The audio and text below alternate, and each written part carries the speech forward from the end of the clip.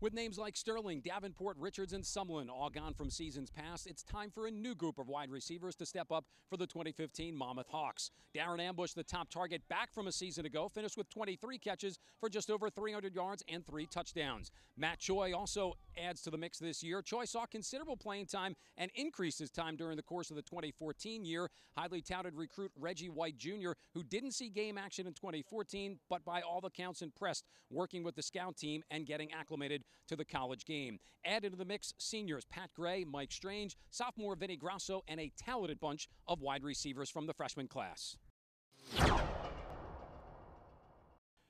Coach, obviously a lot of experience lost with last year's group that graduated in the wide receiver group. This year's group, young, but by all accounts, very talented. Well, we think it is a talented group, Matt. I like what I've seen from the guys out here in that position.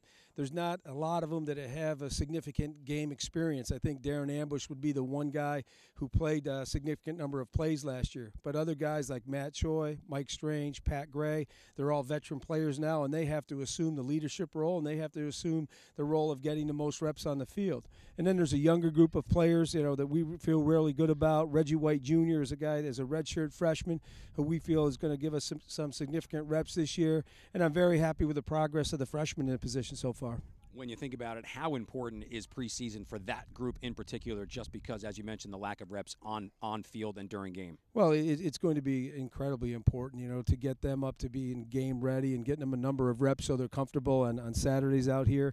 And they're also working with a new player at the quarterback position. Who that is remains to be seen, but you know, getting their timing down with whoever that guy becomes is going to be really important as well.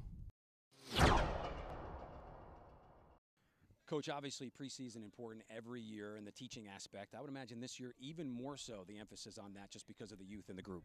Yeah, we have a lot of young guys. We had four seniors that graduated last year.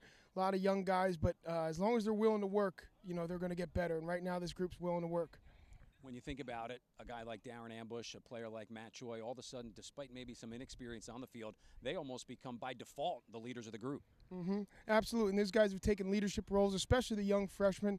Uh, and I think whenever, even if you lose guys, you're getting more and more reps. So with those reps in practice, you're becoming a better player. You're going to become a better leader when you think about it, obviously playing time very open at this particular point. I would think that that's making the competition very impressive, very important during the course of preseason.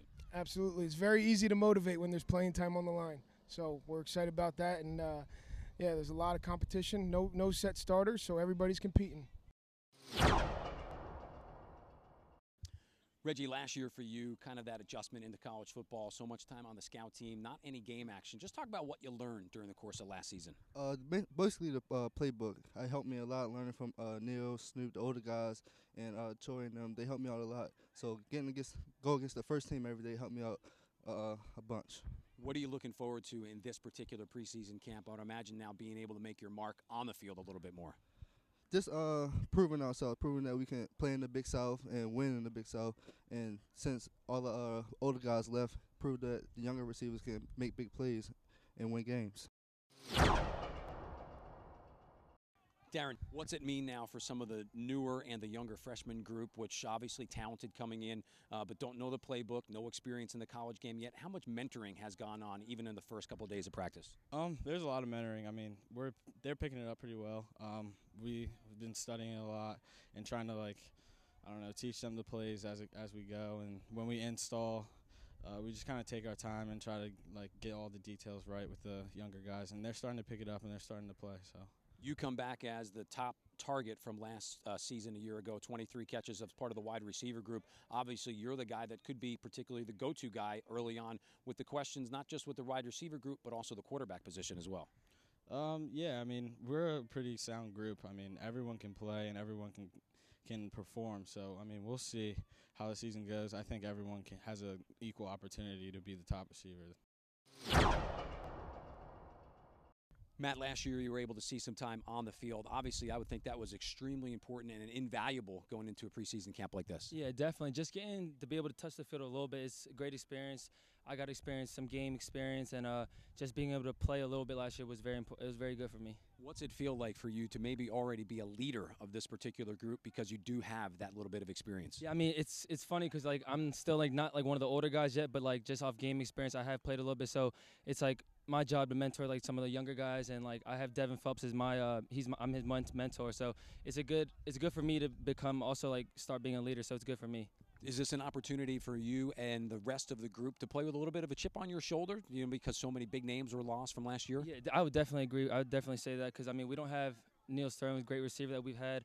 We kind of have a lot of young guys that haven't proven themselves yet, but uh, we have a definitely have a chip on our shoulder, ready to uh, go to work. Adding some more intrigue and question marks in this particular wide receiver group who will be throwing the ball during the course of the 2015 season. As many as six quarterbacks could see first team repetitions, all leading in to being named as the potential starter on September 5th against Holy Cross. Be sure to follow Monmouth University football on our various social media outlets, including Facebook, Twitter, Instagram, Snapchat, and YouTube. Covering the Hawks practice in West Long Branch, I'm Matt Harmon on the Monmouth Digital Network.